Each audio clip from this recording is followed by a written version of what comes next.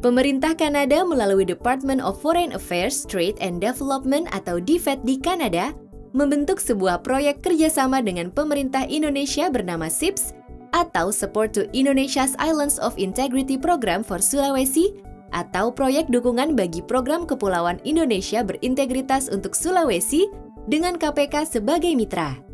Tujuan proyek SIPS secara umum adalah untuk mengidentifikasi, mempromosikan dan mensosialisasikan praktek tata kelola pemerintah yang transparan dan akuntabel di 10 Pemda di Sulawesi dengan fokus di tiga area pelayanan publik yaitu administrasi kependudukan, pelayanan terpadu satu pintu, dan pengadaan barang atau jasa pemerintah. Diharapkan melalui proyek ini kesempatan untuk melakukan tindak korupsi dapat jauh dikurangi, sehingga dapat memicu kesadaran dan pergeseran pola pikir secara kolektif di lingkungan pemerintah daerah Sulawesi Selatan dan Utara untuk bersama-sama memerangi budaya korupsi. Ini dijalankan dengan mempromosikan praktik pencegahan korupsi yang melibatkan berbagai unsur masyarakat, baik masyarakat sipil, dunia usaha, dan akademisi. Selain itu, diharapkan juga muncul paradigma baru di tingkat masyarakat yang melihat peran pemerintah daerah sebagai bentuk pelayanan publik yang dapat dipercaya, transparan, dan kompeten. Di bidang pengadaan barang dan jasa, proyek SIPS fokus membantu meningkatkan pelayanan agar lebih efektif dan transparan. Hal ini didasarkan pada kenyataan sebelumnya bahwa proses pengadaan barang dan jasa di sana masih belum terstruktur dan tidak dilakukan secara terbuka.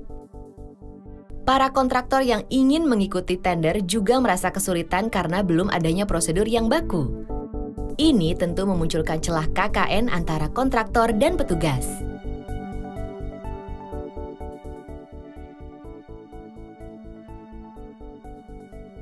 Kondisi Tanah Toraja sebelum ada program SITS kami rasakan di sini bahwa pengadaan barang dan jasa masih menggunakan sistem manual.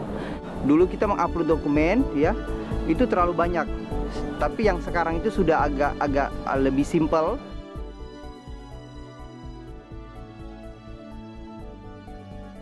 Sebelum adanya LPSC ini dalam melakukan tender itu agak agak agak berat dan agak proses melakukan tender lama. Kini berkat pendampingan proyek SIPS, pemerintah daerah setempat menjadi lebih transparan dalam melakukan proses pengadaan barang dan jasa. Para kontraktor yang ikut tender jadi lebih antusias karena proses pelelangan proyek dilakukan secara terbuka. Fasilitas tempat pengurusan tender pun dirombak agar lebih nyaman bagi masyarakat. Jadi mulai tahun 2012 itu SIPS sudah mendampingi kita membantu meningkatkan kualitas SDM termasuk program-program layanan yang kami lakukan di LPC juga disupport oleh SIPS ini. Selama ini uh, bantuan SIPS uh, untuk WLP uh, pertama peningkatan SDM itu sudah beberapa kali melakukan workshop. Kemudian juga ada bantuan-bantuan fisik berupa peningkatan sapras yang ada di kantor ULP itu sendiri uh, berupa penataan ruangan. Pelayanan pengadaan barang dan jasa kita sudah sangat terbuka dengan LPSE, dengan unit layanan pengadaan. Bahkan demi untuk perbaikan, saya mengambil kebijakan baru-baru agar tidak dibawa intervensi dari pihak tertentu karena yang lalu hanya dilekatkan di salah satu unit SKPD dia tidak begitu leluasa bekerja karena tidak hanya itu yang dia kerjakan maka uh, tahun ini kita telah melakukan perubahan melalui peraturan daerah Kota Manado maka ULP ini menjadi satu lembaga tersendiri. Dengan adanya program SIPS ini beberapa inovasi dan beberapa kemajuan kami dapatkan dengan program ini antara lain di bidang pengadaan barang dan jasa kami dapat membentuk layanan pengadaan secara elektronik LPSE juga unit layanan pengadaan WLP.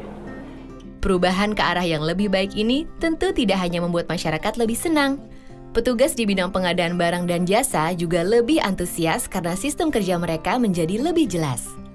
Para petugas juga menjadi bebas dari iming-iming suap karena semua prosedur pengadaan barang dan jasa dilakukan seterbuka mungkin. Karena proses pengadaan secara elektronik ini, uh, masalah transparansi, akuntabelnya, uh, itu jelas berdampak juga kepada kepercayaan masyarakat tentang proses pengadaan. Sekarang itu lebih transparan. Kemudian eh, pelayanan kelihatannya lebih terpadu, informasi yang kita dapatkan lebih lebih rinci dan lebih jelas. Kita bebas dari mana saja, tidak terukur dengan waktu. Kemudian eh, yang pertama tadi itu bisa di rumah, Kemudian yang kedua, kita bebas juga untuk ke daerah-daerah lain. Kemudian yang ketiga, bahwa eh, proses dari panitia lelang itu jelas tidak bisa diintervensi. Itulah layanan sekarang lebih baik untuk kita bisa melihat kompetitor-kompetitor yang lain. Oh dia kekurangannya di sini, kenapa dia nggak masuk? Nah gitu. Kalau itu sudah ada hubungan dengan uh, kita bekerja gitu. Jadi lebih transparan karena bisa lihat semua yang peserta yang ikut pekerjaan. Dan itu sangat membantu unit layanan pengadaan khususnya kita yang ada di Pokja kelompok kerja.